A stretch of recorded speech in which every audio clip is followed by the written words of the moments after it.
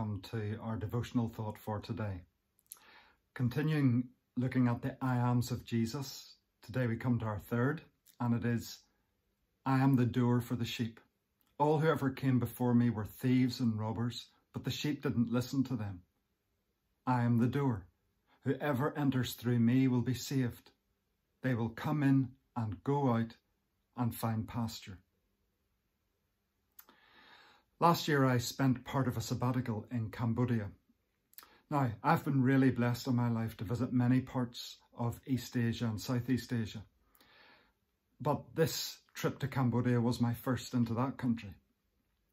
A week or two before arriving, I read an article in the newspaper that said that the number of robberies and holdups in Cambodia of tourists were on the rise. I think that planted a seed in my mind. When I was uh, when I arrived, I was shown around by my friend, and as we travelled back to the hotel, he pointed out some of the areas that I might want to avoid, and they seemed alarmingly close to the hotel that I was staying in. Anyhow, the next morning I got up and headed out uh, to do a bit of sightseeing.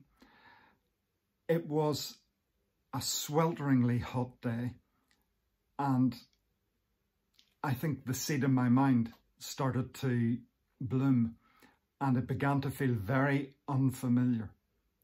All around me, taxi drivers and tuk-tuk drivers did what they do all over Asia and that is shout over to people for their custom. This spooked me out. And within about 20 minutes, I didn't feel safe at all and could bear no more. And I headed back to the hotel as quickly as I could. Now the hotel was open plan, so it was only as you entered into your room that you, in a sense, left outdoors and went indoors.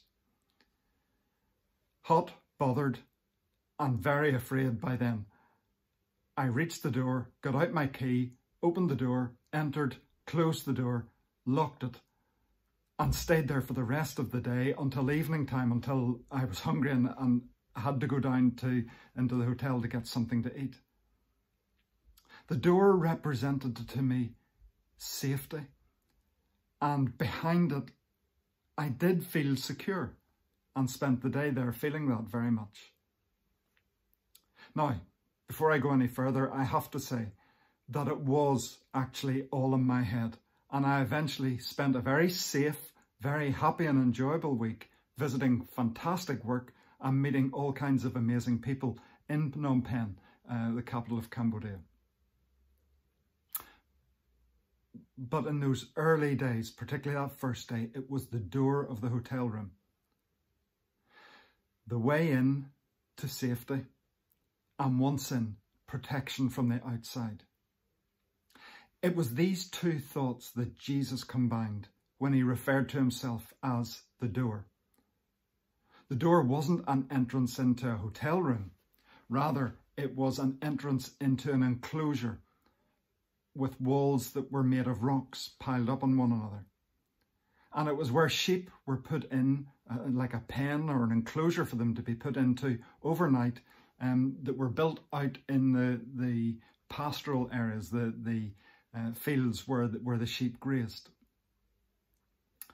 Often the shepherd literally lay across the entrance to these pens, acting as a door or a gate. So anyone who wanted to enter, or anything that wanted to enter, had to go through him. He was the entrance and he doubled up also as the protection, the guarantee of safety for all inside. Now, when Jesus said, I am the door, the way he said it, there was an emphasis. And it was, I am the door. There is no other entrance into the sheep pen that I'm talking about. And of course, he wasn't talking about farming. He wasn't talking about literally being a shepherd of the animals that are sheep. He was talking about people coming to God. He was talking about God's kingdom and the means of salvation. In Christ's enclosure, God's kingdom, his rescued family. We find security when we're facing illness and death. We detect a hand upon us, working in all things as we go through life. We discover that there's a real purpose for us living in this world and that we're not just random life forms that exist for a short time and then disappear again. But we also find forgiveness of sin, removal of guilt and regret, and peace with God.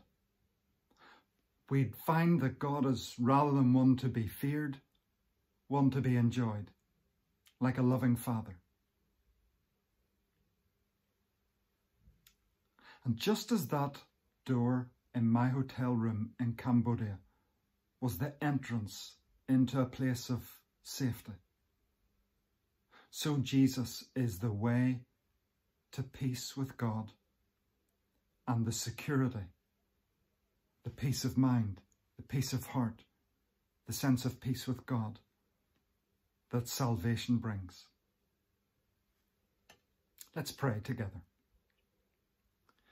for the joys and for the sorrows, the best and worst of times, for this moment, for tomorrow, for all that lies behind.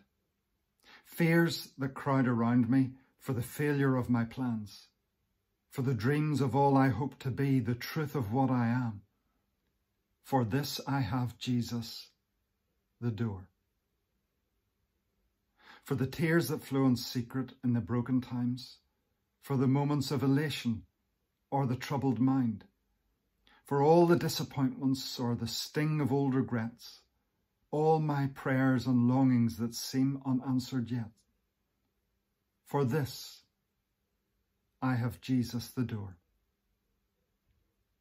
For the weakness of my body, the burdens of each day, for the nights of doubt and worry when sleep has fled away, needing reassurance and the will to start again, a steely-eyed endurance, the strength to fight and win. For this, I have Jesus the door.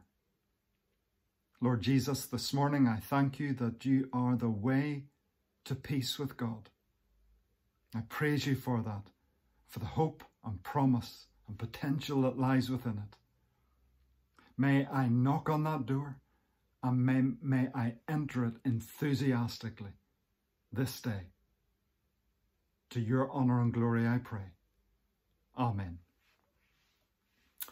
And God's blessing be with you today, and we'll see you again on Friday morning for the next of our I ams of Jesus.